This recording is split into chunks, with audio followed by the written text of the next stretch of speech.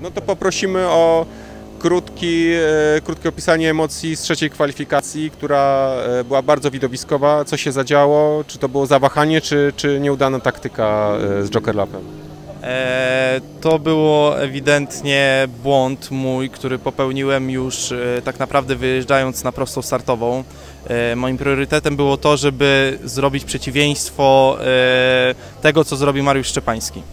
E, Postanowiłem sobie, że jeżeli on pojedzie na Jokera, to ja jadę normalnym torem. I na tyle wziąłem to do siebie, że niestety nie wycelowałem, uderzyłem w Baobaba. Niestety jeszcze tą samą stroną, którą musieliśmy prostować po dachowaniu, które mieliśmy w poniedziałek.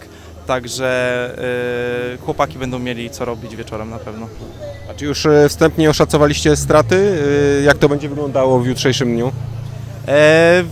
Myślę, że nie są to na tyle duże straty, żeby, żeby to jakoś tam zagrażało. Najgorsze jest to, że przestawiło nam się koło, prawdopodobnie coś z, skróciłem drążek.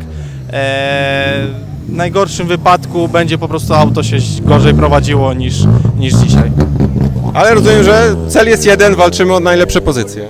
Dokładnie, cel jest jeden, nie do końca mi na chwilę obecną to wychodzi, ale chcemy walczyć o zwycięstwo nadal.